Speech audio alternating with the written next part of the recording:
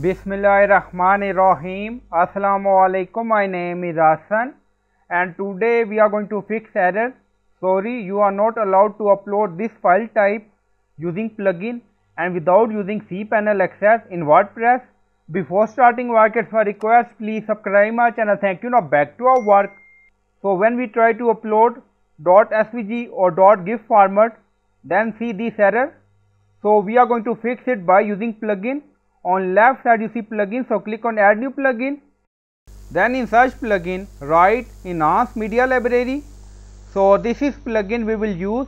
So click on install now and then click on activate it. Now plugin is activated. On left side you see setting and then you see media so click on it. So we are in general tab you see multiple option and then you see thumbnail size width height.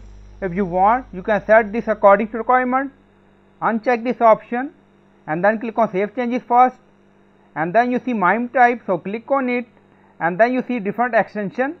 Now you see allow upload so you can enable or disable according to requirement. Now you see gif format already added enable.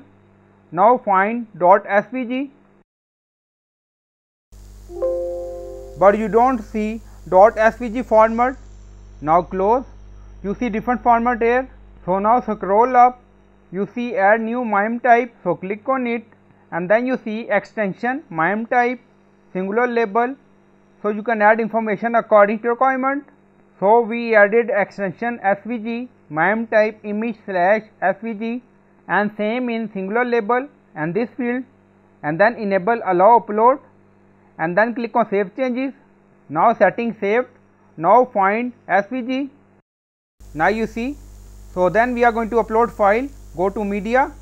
Now click on add new media file select file and then scroll down.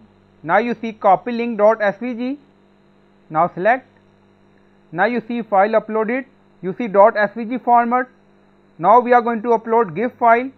Click on it and then you see select file. Now you see gif image format. Now select. Now you see gif image upload and then you see extension dot .gif by using plugin. So I hope you like this video. Please like, comment, share, subscribe. Thank you for watching.